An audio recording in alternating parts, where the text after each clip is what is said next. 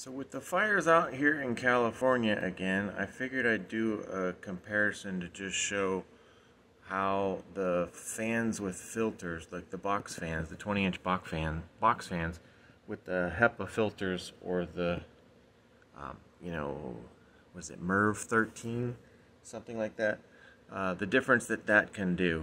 So we've had the house closed up all night, and this is on the Dylos DC 1100 Pro is what I'm checking with. Let's see what's on the back. On the back, I think, yeah. So this has, oops, if I get it. So there's the, the air quality chart. It doesn't really work great for what I see, but hopefully that's readable. So that's what the numbers mean. So based on that, um, you know, it's between fair and poor, but then again,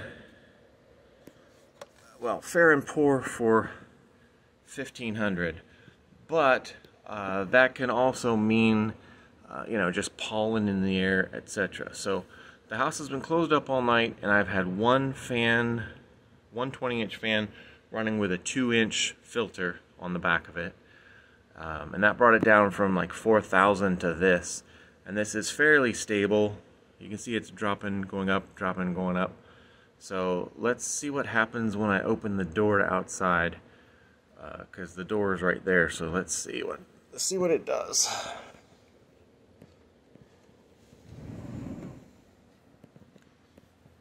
So opening that up.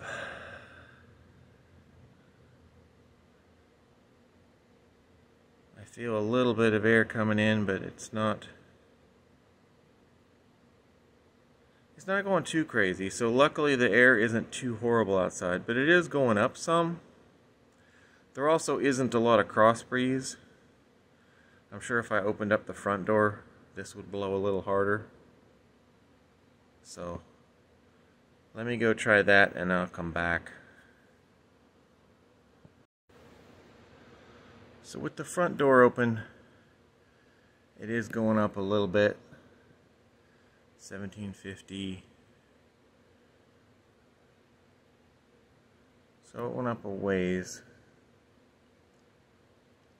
But again, it's not it's not currently too horrible luckily that most of the most of the smoke is at higher elevations versus down uh, near the ground.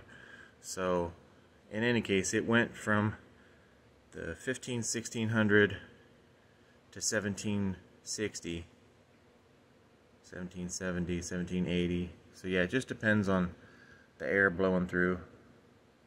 See there we're up at 18 so it's slowly going up. So what we'll do uh, and again depending on how the air blows and stuff it goes up and down just like if you smell pollen or smell a tree and then the air blows the other way, you don't smell it. It's the same kind of thing. So let me close this back up and then we'll do the second part of the comparison. I'm going to turn some additional fans on to see uh, and watch this go down. Alright, the doors are closed again. And now we're there. So I brought in the, the two from the garage because that's where I have my extra fans. So this is the one that's normally hanging on the ceiling. Uh, it's just a 20 inch box fan with a 2 inch uh, filter. 20 by 20 by 2. It's one of those filter by fans uh, and filter combinations. And then this is a 20 inch box fan with a 1 inch filter. So if I turn both of these on high, it's going to get noisier, but. And then I turn this one on high.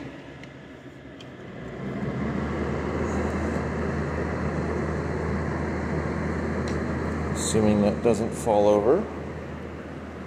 Alright, so theoretically we now have, well, not theoretically, we do currently have three fans running with filters. So I would expect, based on that, that this should start going downward.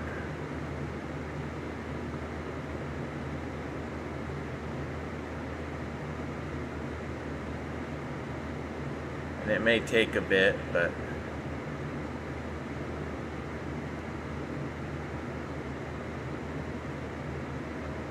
There we go. So you can see the small particles, you know, just about every time it ticks, it trends, you know, up a little bit, then downward. But overall, it trends downward. So that's the, the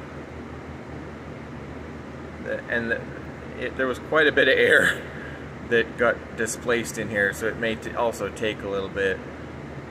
And also these fans are blowing along the carpet, so it might be blowing up some dust from the carpet. But you see it went from 1660 to 1640. Now 1620. So just that quick, you can see with two additional fans turned on, one with a 20 inch, or one with a 2 inch filter, one with a 1 inch filter, you can see how quickly it tends to trend down in a room. Now granted, I have one fan sitting right there and one fan sitting right there and one about, the one that's been running about 10 or so feet that direction. But it's that noticeable and it's even more noticeable when the, the numbers are higher because you can definitely see it dropping. And I see this same effect uh, in the garage. And that's why I like having two of these running all the time when I'm working on garage projects because um, you can, you you know, it's, it's definitely noticeable.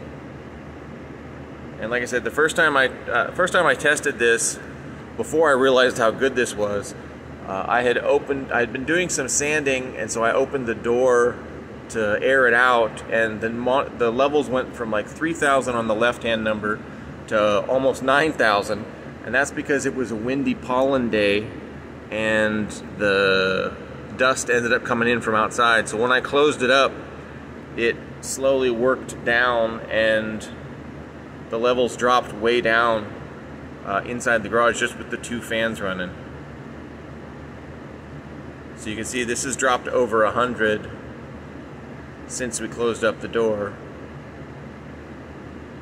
and eventually it will reach a steady state. But with the three fans, that steady state is much lower than which than just with a single fan. So yeah, that's the that's what I wanted to show is just the effect of you know having two of those fans, and it's just the box fans with the HEPA filters, uh, and it can help with smoke particles. And like I said the in previous video back last year and when the California wildfires were really bad and it was like very poor to hazardous outside, the small number uh, on the left was 30 to 40,000 outside and with four fans running with filters, I was able to keep it about 6,000 inside, which means yeah, that's not great, but again, I've had a 6,000 to 8,000 reading just with pollen and dust in the air from just normal outside. So they were almost down to 1,500. So I would expect, you know, this would keep going over time and dropping, like, see, now we're down at 1,400. So that's almost 200 dropped in six minutes. So uh, that's pretty good. That's why I, I recommend this as a dust sensor. Granted, it's a little bit expensive, but it works really cool. And I also recommend the fan and filter combinations because they definitely work really well. And you can see it's now down almost to 1400 instead of 15 and 16 and 1700. So, yeah, hopefully it was useful for somebody to see. But those box fans and uh, the, I definitely recommend the two inch filters versus the one inch filter because there's much more airflow. I don't have an airflow meter, but there's much more airflow on the output side of the fan versus the one inch filter. So that means a lot more air is getting run through here, which means a lot more particles can get uh, filtered. See, now we're down closer to 1400. So anyway, that's it for this one. It's been another five or so minutes and it dropped another 150 or so 100 150 so it's below 1300 now so yeah i definitely recommend this